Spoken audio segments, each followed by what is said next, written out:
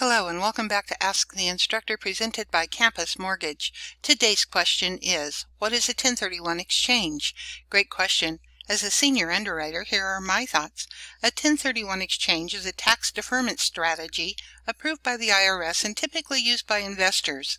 For example, the seller owns a duplex and wants to sell it and buy a four-unit property. In effect, the IRS allows them to swap like properties and defer any tax liability they may have. To accomplish this, they need a facilitator to act as a middleman. All monies and deeds in and out must go through the facilitator. They don't usually affect our borrower, but you must be aware of the mechanics of a 1031 exchange, and since there is more than one type of exchange, you must be able to confirm the seller can convey clear title to our borrower at closing. This concludes our one-minute video, and as always, don't forget to download our course catalog at campusmortgage.org.